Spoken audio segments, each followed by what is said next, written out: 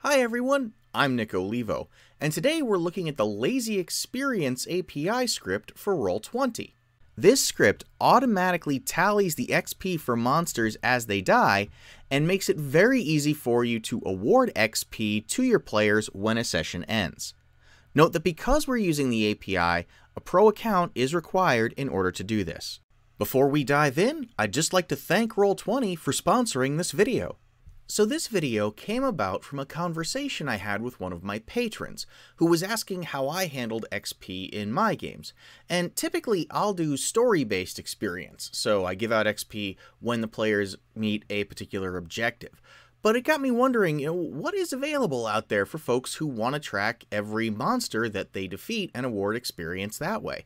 And so I went through and I looked at a couple of different scripts, and I think of the ones I found, Lazy Experience is my favorite. So let's take a look at how to set it up and get things running. So the first thing you're going to need to do is install the script. And Lazy Experience is part of the Roll20 API script library. So you can just come in here, search for Lazy Experience, it'll show up, and then you can add it to your game. This script was written by Robin Kuiper. I apologize if I'm not pronouncing that correctly, but this script is really great because it's going to make it very easy for us to track and award experience. So now that we have the script installed, we'll go back into our game and the first time that you load up your game after Lazy Experience is installed, you'll be presented with a configuration menu. If you ever need to bring that menu back, the command is xp space config. And let's take a look at the settings that you have available here. So command exclamation point XP, that's what you're going to use to invoke the commands. You can change this if you want to, but honestly, I wouldn't recommend that. I'd say just leave it as it is. Marker, dead. So the way that lazy experience works is when a token has a specific marker applied to it, in this case the red X marker that indicates dead, that's what tells the script it's time to add the XP for that monster to the overall tally. Player XP attribute is experience, and this is what is the experience item on the character sheet that you're using. And if you're using D&D 5e, it's just called experience, so you can leave this as is.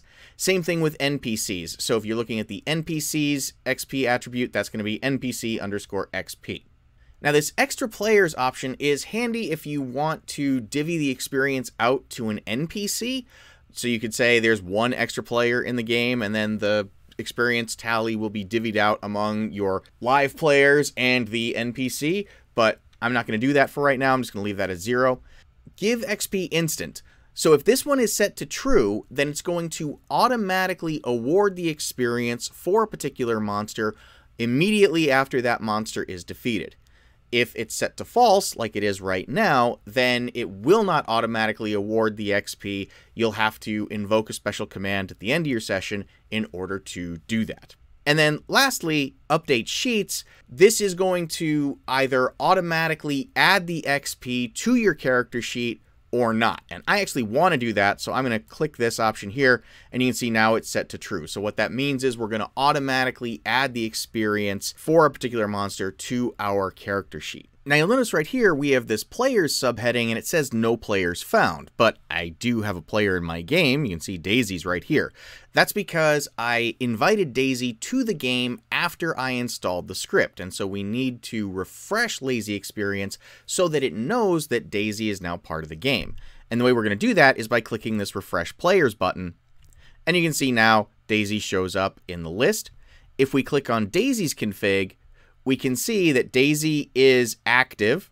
So that means that she will be included in the XP distribution when the time comes. And we'll also say refresh characters here, and that will pull in the characters that Daisy controls. So if Daisy has more than one, we could mark them as inactive. So maybe only Syl here is part of this session and other characters that Daisy controls are not. So you have a good deal of flexibility as far as how the XP is going to be distributed when the time comes. Okay, so that's our setup. So now let's see the script in action.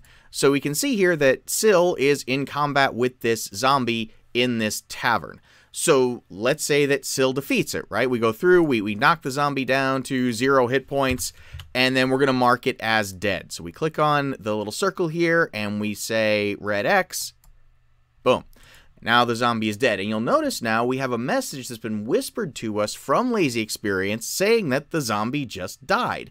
Do you want to add 50 XP, which is how much experience a zombie is worth, to the threshold? And we'll say yes to that.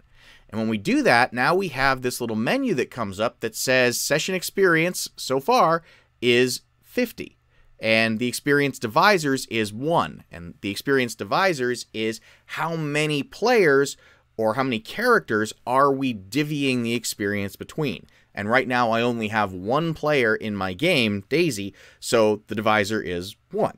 And that's the basic process for this. So anytime a monster or NPC is marked as dead, the red X will pop up. You'll get the prompt in the chat asking you to add the XP to the threshold.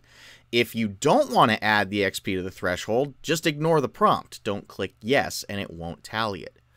Also, the script is smart enough to know that player characters should not be put into the XP tally. So if I mark Sil here as dead right now, you'll notice I do not get prompted from Lazy Experience to add her XP amounts to the overall tally. Now, sometimes you'll want to add XP from other sources. Maybe your party has successfully bypassed a trap, or maybe they've done some really excellent role playing and you want to give them some extra experience points for that. Well, you can certainly do that too. Just type in the command XP menu, and that brings up the experience menu that you saw earlier. And what you can do is say add session experience and that will allow you to add in the experience for whatever it is that you did. Maybe the trap was worth, say, 25 XP. So we'll just submit that, and now we can see the overall session experience is 75. If you want to add XP to a specific player character, so maybe Sil here did some awesome RP and we only want her to get the XP, we can say add XP, same deal, we'll do 25, submit, and now you can see that Sil has 25 experience points up from the zero that she had originally, but the overall session experience has not changed. But the thing to know about this is this XP that's reserved for Sil is not applied to her character sheet yet. In fact, if we open up her character sheet right now, I've just alt double clicked on her token to bring up her sheet, we can see that she still has zero experience points. So what we want to do when it's time to award XP, you know, the session is ended and we're all done for the night, then what we want to do is click this end session button. And that distributes the XP to all of the players involved. And you'll see here, we've got a message that's public to everyone that says the session is ended, everyone gets 75 experience points, and your character sheets have been updated. And again, that's because I set that update sheets flag to true in the config menu. You'll see here, though, that Sil has gotten 100 experience points because she had those extra 25. And we can see down here, that's been whispered as well, saying that Sil got 25 for a total of 100. Now, Sil's player is going to see these messages as well. So I've just swung over what it looks like for Daisy, and you can see here that this message has come in. You got 25 extra experience points, bringing your total up to 100 XP, and that your sheet has been updated. So if a player does get bonus XP for good role playing or, or for something else, they will be notified, and then that XP will get added to their sheet. Back to my DM view here. If I run the XP menu command again, you'll see now that the session experience has been set back to zero. So once you end the session by clicking the end session button, it's going to set everything back to zero.